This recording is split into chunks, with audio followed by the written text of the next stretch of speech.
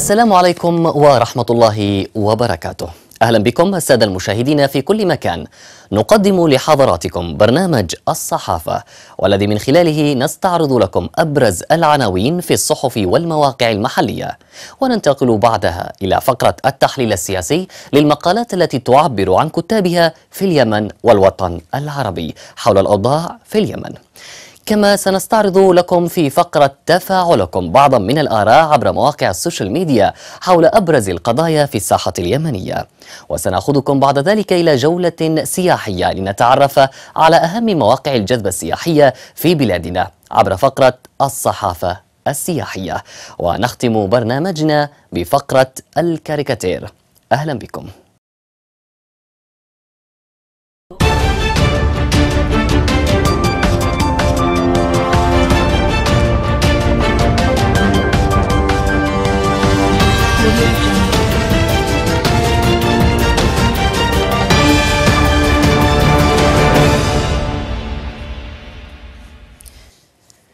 من جديد حياكم الله. والبداية بأبرز عناوين الصحف والمواقع المحلية. ونطالع من صحيفة وموقع الأمناء نت. حكومة الشرعية تبدي استعدادها لعقد صفقة تبادل لجميع الأسرى مع الانقلابيين عبر الأمم المتحدة. مجلس القضاء الأعلى يعيد هيكلة محاكم ونيابات محافظة عدن الهلالي يحذر من اغتصاب بعض الأماكن التابعة للدولة بمحافظة لحج. معسكر خالد الإستراتيجي في مرمى نيران المقاومة الجنوبية. مدير كهرباء عدن الحكومة أنقذت السكان من صيف هو الأسوأ على الإطلاق. إلى صحيفة وموقع عدن الغد نطالع فيها تلكم العناوين. الحوثيون يصادرون مرتبات جنود مؤتمرين ويقمعونهم. أهالي مديرية ميفعة ورضوم بشبوة يقولون أن المعونات الإغاثية لا تصلهم. الإمارات تدرس إمكانية المساهمة في إعادة إعمار المقار الأمنية بلحج محافظ محافظة لحج يدشن عدة مشاريع خدمية بالمدينة الخضراء وسط ترحيب وجهاء وأهالي المدينة. محافظ حضرموت يوقع عددا من اتفاقيات دعم مشاريع المياه مقدمة من اليونيسف. ونطالع في صحيفة الأيام تلك العناوين. خبراء بمجلس الأمن يوصون بإضافة خالد نجل صالح لقائمة العقوبات. مساعدة بريطانية بخمسة ملايين جنيه لليمن. إلى أبرز خبر خلال هذا الأسبوع عبر الصحف اليمنية والعربية والعالمية ومواقع التواصل الاجتماعي وهو سقوط معسكر خالد بعد غارات جوية عنيفة. تحت هذا العنوان نطالع تفاصيل الخبر. اقتحمت المقاومة الجنوبية الأربعاء وتحت غطاء ناري جوي من طائرات التحالف العربي معسكر خالد بن الوليد الإستراتيجي وسيطرته على أجزاء واسعة منه. وذلك في عملية عسكرية استمرت أسابيع خلفت عشرات القتلى والجرحى في صفوف الميليشيات. وتمثل السيطرة على معسكر خالد وهو أكبر القواعد العسكرية التي أنشأها صالح طيلة الثلاثة العقود الماضية صفعة مدوية لقوات الحوثيين وصالح الانقلابية التي بدأت تنهار في المناطق الشمالية التي تعتبر حاضنة لهما. وذكرت صحيفة الأيام مصادر ميدانية تشارك القوات الجنوبية المتقدمة في المعركة بجبهة المخا أن خطة الاقتحام بدأت بكثافة في الغطاء الجوي حيث هاجمت مقاتلات الأباتشي غاراتها على ما تبقى من مواقع وتحصينات قوات الحوثي وصالح الإنقلابية. فيما شنت الطائرات الحربية قصفا دقيقا استهدفت تفجير شبكة حقول الألغام التي زرعتها قوات العدو في أماكن واسعة داخل المعسكر. وأشارت معلومات المصادر إلى أن طيران التحالف قصف تلك المواقع الملغومة بقذائف ارتجاجية ذات فعالية قتالية عالية. قدرتها اختراق الأرض المزروعة بالألغام. الأمر الذي ساعد كثير في تمهيد الطريق أمام قوات المقاومة للانتشار والانقضاض على أجزاء كبيرة في المعسكر. وجاء الاقتحام في بادئ الأمر من الجهة الشمالية الغربية قبل أن تنفذ المقاومة هجوما الواسع من جميع اتجاهات المعسكر. وتهرب باقي جيوب الميليشيات من الاتجاه الشرقي للمعسكر. هذا ويعتبر معسكر خالد بن الوليد أحد أكبر ثلاثة معسكرات في المحافظات الشمالية التي أسسها صالح خلال حكمه للبلاد ويراهن عليها كثيرا في منع تقدم قوات الشرعية. وقال خبراء عسكريون أن سقوط معسكر خالد في يد الشرعية يعد نقلة كبيرة في معركة إسقاط الانقلاب. وقالوا أن قوات المقاومة والجيش ينقل المعركة الآن إلى عمق مناطق الشمال حيث الحاضنة الشعبية للانقلابيين. ويؤمن المعسكر قاعدة إمداد هائلة من السلاح الثقيل والمتوسط والعناصر البشرية لتحقيق الانتصار في محافظة تعز وساحلها الغربي. وبالتحديد المنطقة الممتدة من المخا وحتى باب المندب. ويتمتع بموقع حصين فهو يتمدد في واد تحيطه التلال من كل الجهات ولها مراكز حماية متقدمة من كل الجهات مما سيجعل سيطرة قوات الجيش عليه ضربة موجعة للحوثيين بعد أن يتم قطع طريق تموين الميليشيات إلى مدينة تعز. إضافة إلى أن كون المعسكر يحوي مخازن ذخيرة وصواريخ باليستية ومنصات لإطلاق الصواريخ. وقال القائد الميداني عبد الرحمن المحرمي المعروف بأبو زرع المحرمي أنه في تمام الساعة الواحدة من ظهر الأربعاء سيطرت قوات المقاومة الجنوبية بمشاركة طيران التحالف على معسكر خالد. وأعلن الرئيس عبد رب منصور هادي في اتصال هاتفي مع قائد المنطقة العسكرية الرابعة فضل حسن. انتصارات المقاومة والجيش وسيطرتهم الكاملة على المعسكر. وأشاد الرئيس بالمواقف المشرفة التي سطرها أبطال المقاومة خلال شهور مضت في مواجهة العدوان الانقلابي الغاشم والمنتقم من أبناء الوطن. من جانبه عبر قائد المنطقة العسكرية الرابعة عن شكره وامتنانه للرئيس هادي وحرصه ومتابعته الدائمة لمختلف الجبهات ومنها الساحل الغربي التي تحققت فيها البطولات في وجه المد الانقلابي ومن يموله ويدعمه مبشرا بمزيدا من الانتصارات وانكسار الميليشيات الانقلابية.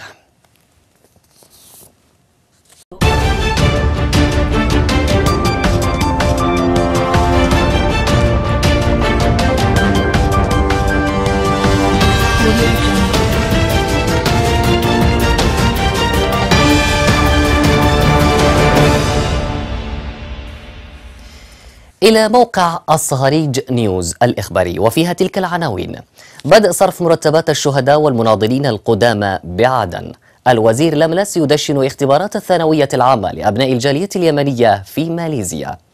بدعم من محافظ عدن تجهيز وتأثيث دار العجزة والمسنين في عدن. وزير حقوق الإنسان يبحث التعاون المشترك مع مركز الملك سلمان للإغاثة. الدكتور باسليم نسبة الإنجاز في مشروع مبنى ديوان وزارة التربية والتعليم بمدينة الشعب تبلغ 80%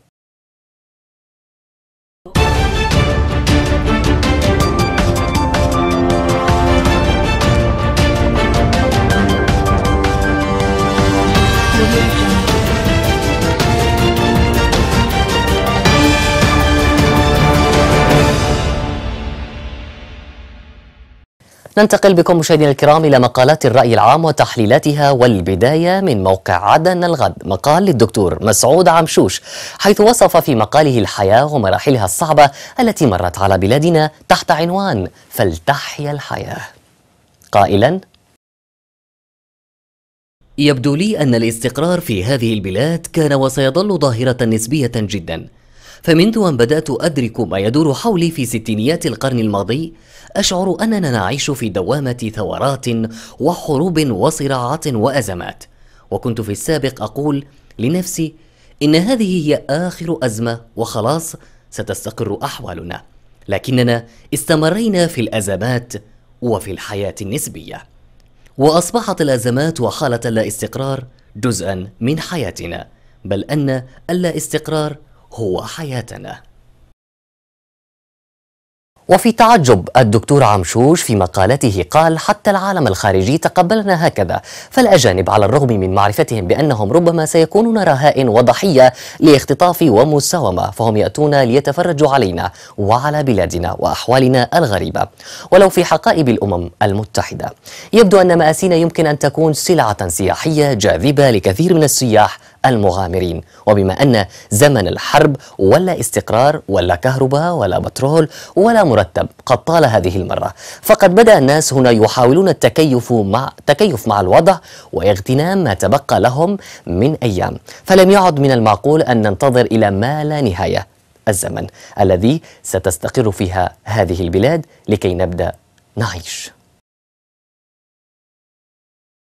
فعلى الرغم من استمرار الحرب والدماء دماء الشهداء والكوليرا.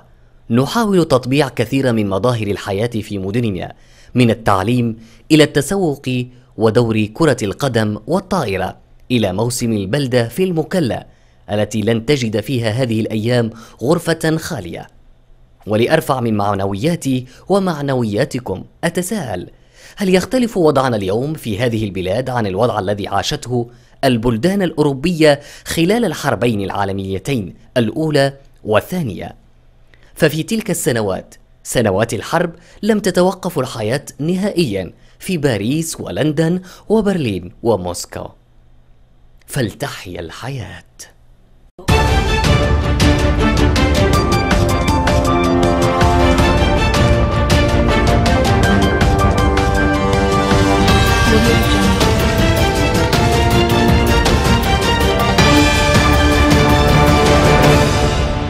مقال آخر من جريدة الرياض وتحت عنوان اليمن التعيس في ظل حكم المخلوع. بدأ الكاتب مقالته بقوله من غير المعقول أن نصل إلى ما بعد الألفية وهناك شعوب ما زالت تعيش تحت وطأة التخلف والجور والحياة المهينة. شعوب تعلق مصيرها بقبضة حاكم جائر جاهل وفاسد وكيف لا يكون مفسدا وهو قد قضى على سبل الحياة لملايين البشر من شعبه. مواصلا مقاله عن حياة الشعوب مشيرا إلى أن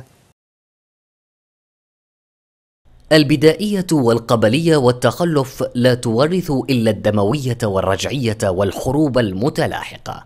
ومعنى أن تسعى خلف توحيد أكثر من بقعة جغرافية تحت مظلة حكم يسودها القانون والاستقرار والحياة الكريمة للشعب. يتطلب أولا ألا تقضي على كل العادات الجاهلية. التي نهى عنها الإله ولعل أبرزها العصبية القبلية والعنصرية المقيتة فالدين سلوك أخلاقي قبل كل شيء وكل ما هو شر هو من صنع الإنسان وهذا الإنسان ما هو إلا مسيء للدين عندما ينتمي له دون أن يطبق السلوك الذي نص إليه.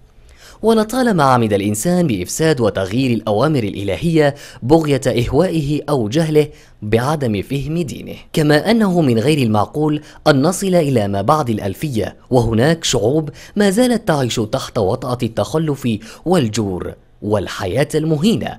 شعوب تعلق مصيرها بقبضة حاكم جائر جاهل وفاسد. وكيف لا يكون مفسدا؟ وهو قد قضى على سبل الحياة لملايين البشر. من شعبه. واستعرض الكاتب ضاربا مثلا عن تلك الشعوب قائلا من هذه الشعوب على سبيل المثال الشعب اليمني فمن كان يتصور أن اليمن بتلك العظمة التاريخية أن ينتهي به الحال إلى ما نراه اليوم من انحطاط بكل الأنظمة وكأنها تضاهي ما قبل الجاهلية الأولى. ومن كان يتنبأ لمستقبل حاضنة الحضارات ومملكة سبأ ومملكة حضرموت ومملكة قتبان ومملكة معين ومملكة حمير أن يصل بهم المطاف من ضمن تصنيف عالمي بامتياز في تفشي الأوبئة والجهل وصولا إلى تحت خط الفقر. الكاتب يواصل رسائل تذكيرية للقارئ والمتابع ويقول أود تذكير القارئ العربي نسى كيف كان لليمنيين القدامى حضارة عريقة؟ وكيف ساهمت حضارتهم في تطوير سبل الحياة؟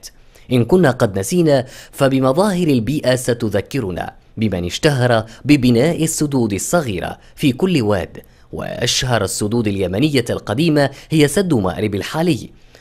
عوضا عن ذلك ازدهرت تجارتهم وكانوا محطات وممالك صغيرة منتشرة في أرجاء الجزيرة العربية. مهمتها حماية القوافل. وأسسوا إحدى أهم ممالك العالم القديم المعروفة باسم ممالك القوافل وعرفت بلادهم باسم بلاد العرب السعيدة في كتابات المؤرخين الكلاسيكية. بينما بكتابات المؤرخين المعاصرين ستعرف بلادهم باليمن التعيس. وكيف لا يكون تعيسا وهو مر بأنظمة فاسدة لا تخشى لومة لائم. فأقرب نظام عاصرته هو فترة حكم الرئيس المخلوع علي عبد الله صالح الذي شهد عصره بما عرف بالوحدة اليمنية اسميا وما هي إلا وهما للوحدة الحقيقية بالمفهوم الشامل. وكان من أبرز تداعيات هذه الوحدة على الشعب اليمني خاصة راح ضحيتها الجنوب اليمني لأن هذه الوحدة جاءت لحاجة سياسية ملحة. بمعنى تقوم لمنافع سياسية وغالبية هذه المنافع كانت مفتعلة. إذا الطرفان علي صالح وسالم البيض رئيس الحزب الجنوبي قرر بالفعل أن تكون هناك وحدة لليمن. لكن المتمعن في الأدوات التي اتخذت لتحقيق هذه الوحدة. يعلم جيدا أنها من المحال أن تنجح وذلك لعدة أسباب لم يكلف علي عبد الله صالح نفسه لدرء خطرها أو حتى معالجتها بكل ضمير. وأولى تلك الأسباب هي موقف المجتمع القبلي والأحزاب الدينية خاصة في شمال اليمن. حيث كان موقفهم هو رفض هذه الوحدة بكل المقاييس.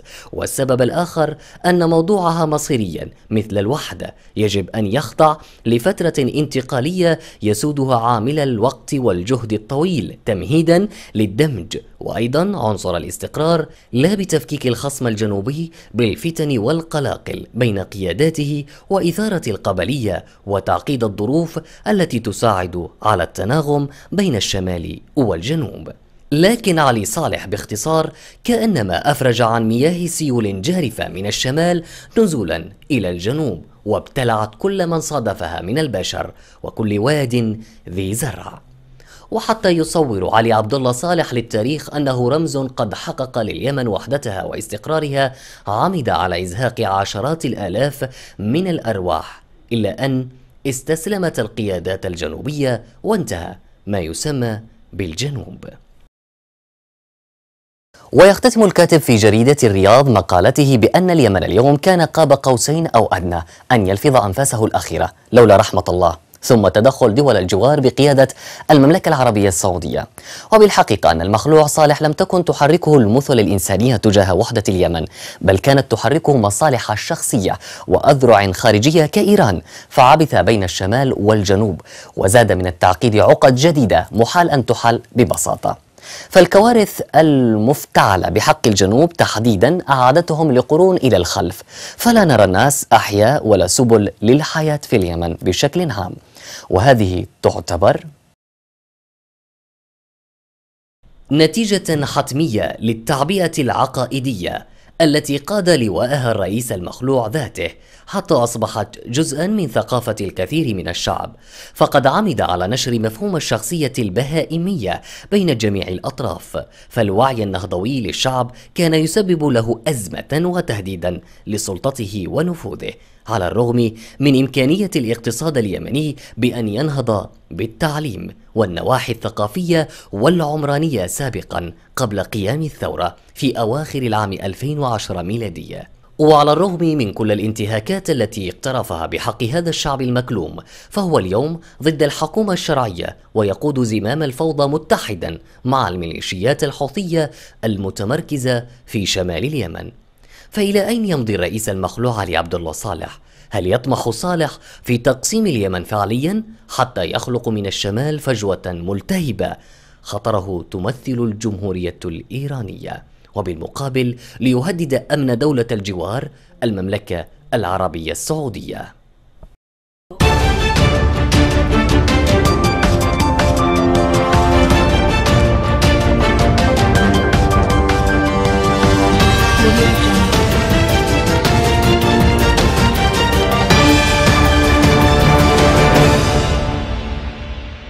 مقال للكاتب مختار عبد الله عوبل في صحيفة عدن الغد يتحدث بحرقة عن الواقع المرير التي تعيشه الحالمة تعز ويبدأ حديثه بالقول. تعز عاصمة الثقافة اليمنية. تعز الحالمة وصبر. تعز قلعة القاهرة وعصيفرة. تعز المدينة والإنسان. فتعز تعتبر منبعا للثقافة في بلد مليء بالصراعات. تعز الذي عانت الأمرين من نظام صالح من حين توليه قيادة لواء المجد بتعز في سبعينيات القرن الماضي وحتى وصوله إلى السلطة. فهي من فجرت أولى شرارات الثورة على النظام السابق بالعام 2011 ويقول عنها مثقفون بأنها رئة اليمن. دخلها الحوثيون وقوات صالح في بداية شهر مارس من العام 2015 بحجة تأمين المدينة حينها خرج أبناء تعز في مواجهتها وقمعوا من قبل قوات الأمن. الكاتب عوبل يتحدث في مقالته عن عاصفة الحزم وما قدمته لتعز. بعد وصول الحوثيين إلى عدن ومطاردتهم للرئيس عبد رب منصور وقصفت مواقعا للحوثيين في جميع أنحاء الجمهورية. وتمكنت المقاومة الجنوبية في المحافظات الجنوبية من طرد الميليشيات وتحرير المدن الجنوبية واحدة تلو الأخرى. في تعز كان هناك وضع خاص بحكم وعرة تضاريسها الجبلية التي قد تدربت وتعودت عليها الميليشيات بحكم حياتهم بالجبال والكهوف. أصبحت مهمة تحرير تعز صعبة ولكن تمركز القوات الموالية لصالح والحوثيين بأعلى الجبال المحيطة بالمدينة هو ما حال دون تحريرها بسهولة. قدمت دول التحالف الدعم والإسناد لتعز بالأسلحة والعتاد العسكري ولكن القتال في الجبهات كان محدودا وليس بالمستوى المطلوب. يواصل الكاتب مقالته مستعرضا المآسي التي تتلاحق بهذه المدينة منها انتشار الأمراض وسط الحصار والقصف. وفي ظل كل هذه الظروف ومن ما زاد معاناة أبناء تعز هو انتشار الأمراض المعدية كالكوليرا وحمى الضنك وإلى آخره من الأوبئة والأمراض المتفشية. واشتداد القصف على مساكن المدنيين بدون أي رحمة من قبل الميليشيات الانقلابية.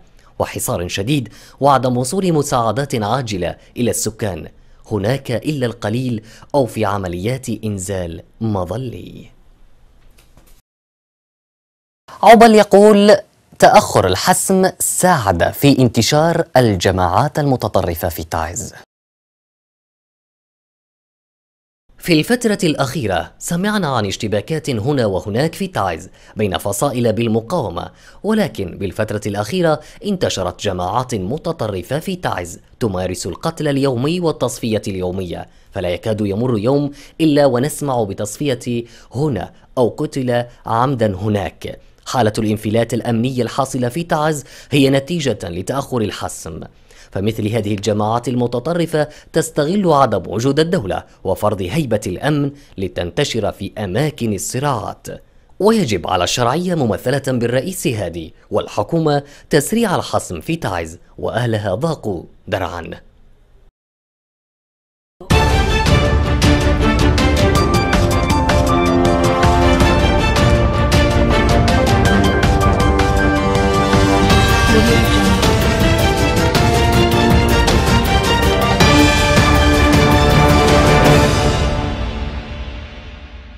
فقرتنا التالية هي فقرة المواضيع الاجتماعية والتي دائما تتصدر حديث الناس ويتم تداولها في مواقع التواصل الاجتماعي المختلفة.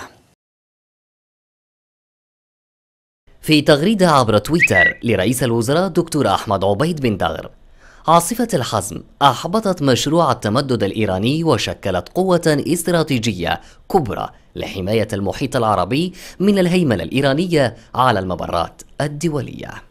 وفي تغريدة أخرى لرئيس الوزراء بعد زيارته لمعسكر العند وجبهة كرش ميليشيا الحوثي وصالح عبثت بأمن واستقرار الوطن بدعم من إيران. إيران تشكل خطرا على الأمن الوطني والقومي العربي والخليجي على وجه الخصوص. وتغريدة أخرى لرئيس الوزراء. حققنا انتصارات ميدانية كبيرة ونصنع نصرا حقيقي يجبر الميليشيا الانقلابية للعودة إلى طاولة الحوار الشامل والعادل الذي يتطلع إليه شعبنا اليمني. وفي تغريدة لنائب رئيس الوزراء وزير الخارجية عبد الملك المخلافي عبر تويتر المشروع الإيراني في المنطقة الذي ينفذه أتباعه يقوم على استبدال الدولة بالطوائف واستبدال الجيوش بالميليشيات.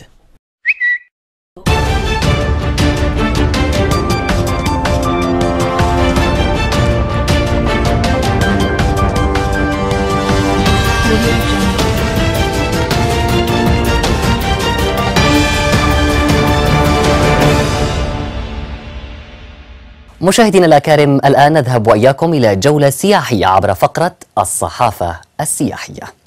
اليمن يزخر بتاريخ حافل بالحضارات وبالكثير من الموارد الطبيعية فهي تمتلك تضاريس متنوعة تؤهلها إلى أن تكون السباقة في القطاع السياحي. فلديها الكثير من مواقع الجذب السياحية الغير معروفة وما زالت الكثير من مواقع الجذب السياحي غير متطورة وتنقصها بعض الخدمات جراء الحروب والاقتتال الدائم الذي يعاني منه اليمن.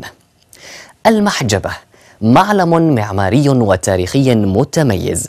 لمحجبة حاضرة سلاطين آل هرهرة في يافع بني مالك.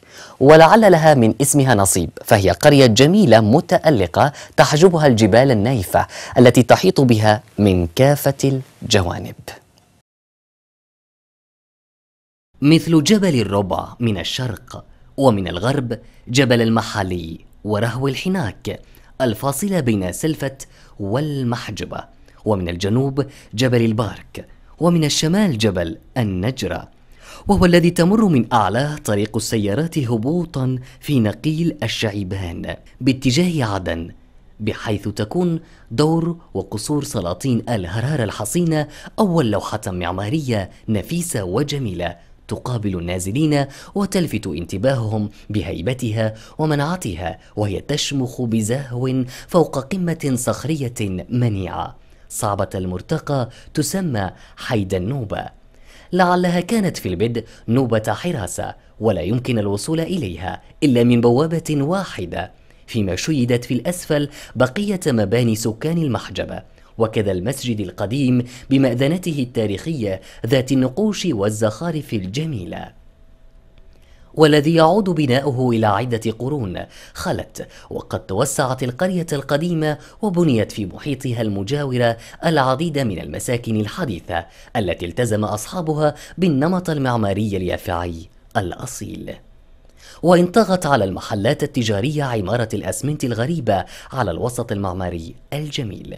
وللأسف الشديد أن المسجد التاريخي الذي يعود بنائه إلى عصر أسلاف سلاطين آل هرهرة قد هدم بكامله وبني محله مسجدا جديدا بنمط لا يمت بصلة للقديم لا بشكله ولا بزخارفه. والأغرب من ذلك أنه تم بناؤه بحجارة مستوردة لا تتناغم بلونها ولا بقوتها مع محيطها المعماري. ولا شك أن ذلك تم بدون وعي وبحسن نية ربما بغرض توسعة المسجد القديم دون الالتفات إلى القيمة التاريخية التي تروي تاريخ الأجداد وحضارتهم الإسلامية. وكم كان سيكون جميلا لو أن الجديد بني على ذات النمط القديم بشكله ونقوشه وبحجارة ومواد محلية بما في ذلك الاستفادة من حجارة المسجد القديم.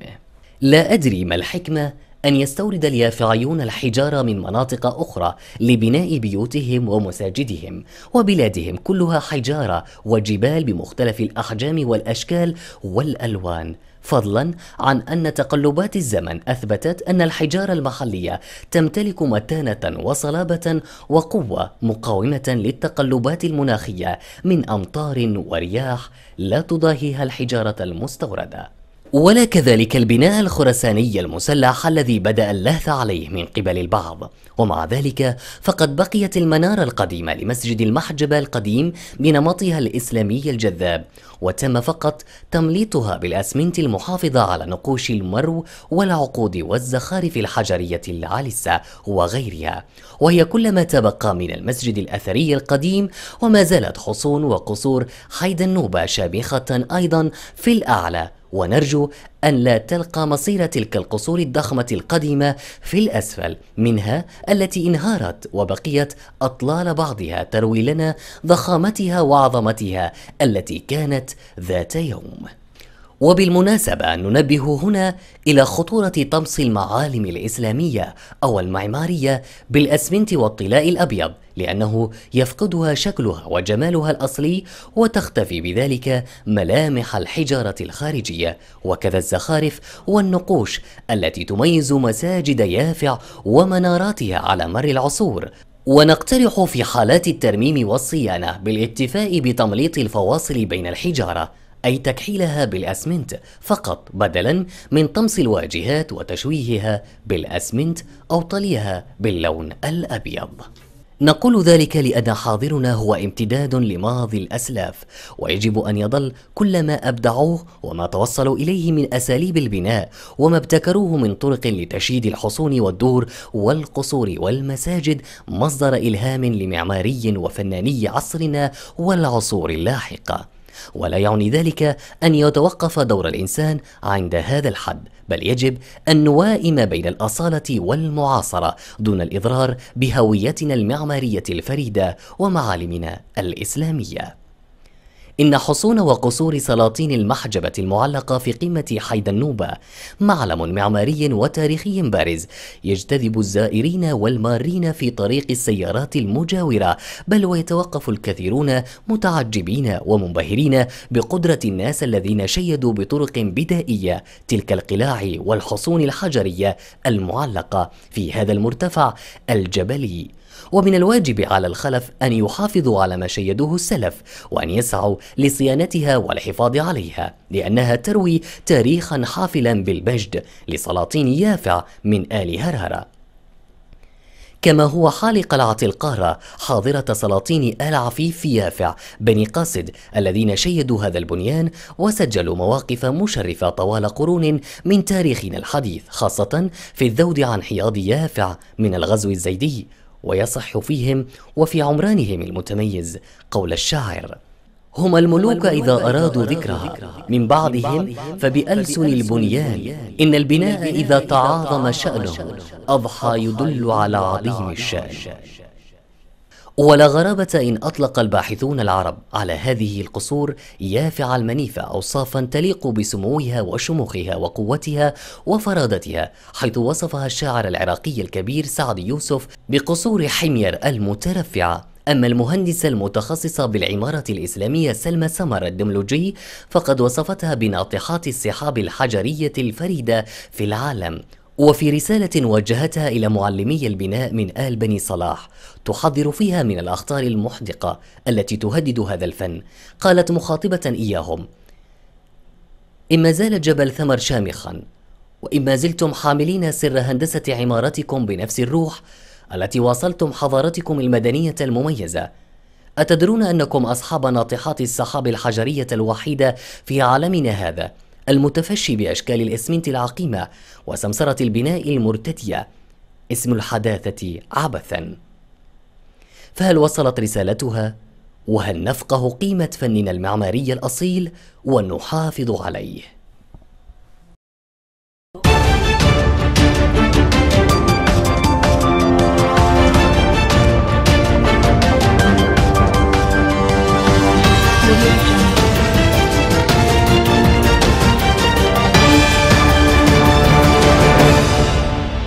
وختام برنامج الصحافة. هي جولة سريعة في الصحافة الكاريكاتورية. نتابع.